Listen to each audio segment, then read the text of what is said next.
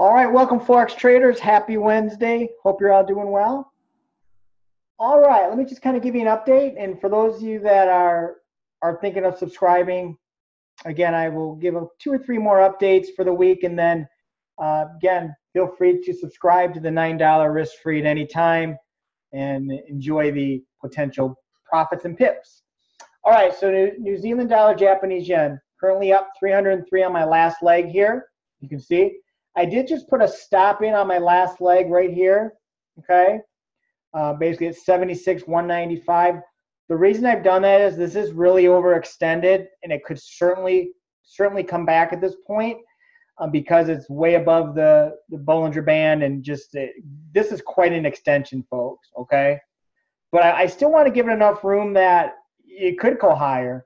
But if it does come back and snap, I don't want to lose profits, you know, all my profits on that last that last third of my my trade. So I'm going to keep it right right here. We'll see if we can get some more movement over the next couple days, up to maybe 78, which is certainly certainly something that can happen, folks. Okay. But here's all about risk management and letting the runners run, yet you know not getting greedy. All right, the other active trade, British pound chef. I'm up 278 right now, 278 pips. So same thing here. Um, you know, it's gone up again today. I've hit profit target two here. I'm still going to keep my stop at this point though, right right here at 129.711.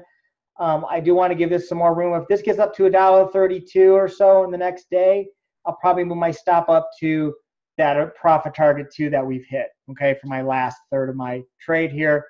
Again, because I don't want to give up all these profits, but I want to have this room to run. This thing is not overextended yet it could certainly make it up to this this area right here, folks, right around a dollar thirty-two five seven nine. Okay, right about here, easily. So we'll we'll just let the profits run, folks. All right, so the Canadian dollar yen, as I told you yesterday, I put a stop loss at five pips to try to eliminate risk since we were doing so well on the other two, right? It's about maximizing your your strategy and your and minimizing risk. So unfortunately, it did wick me out, even though this thing would be up another uh, 50 pips or so. It did you get me out at five pip gain. So again, um, that's just the way you can play those. If you are still in this trade, you know, protect yourself, put a stop at break even at this point, and, and see if we can get this running up. Again, I love this trade. I just wanted to protect profits since we're doing so well in the other two. You don't want to turn, uh, you know, winning prop winning trades into a, a equal loser. So again, I'm now flat on this trade with five pip gain, five pip gain. All right, I told you I'm looking for longs in British pound Aussie dollar. So again, a lot of sideways action here, folks, which I like to see. This could be a resumption of the uptrend, but I am waiting for my trigger. So no trigger yet. And British pound Kiwi, British pound New Zealand dollar, same thing here. I'll probably take one or the other on these.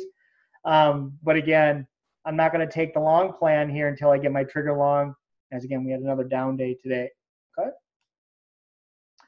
Some other things I'm looking at. Um, I am looking on U.S. dollar Swiss, U.S. dollar chef to short. Not yet though, but just kind of keep that on your watch list. And I, I am thinking this is close to a top with a seasonal short in play here, and um, just looking to to get short as soon as I get a trigger.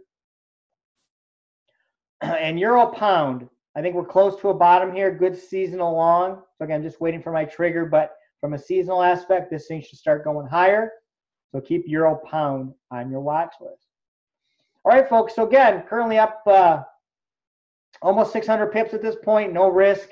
Fantastic way to trade. If you have any questions, let me know. Again, for you folks that are getting the free updates, feel free to click on the links below to subscribe to a 30-day, $9 risk-free trial. If you have any questions, please let me know.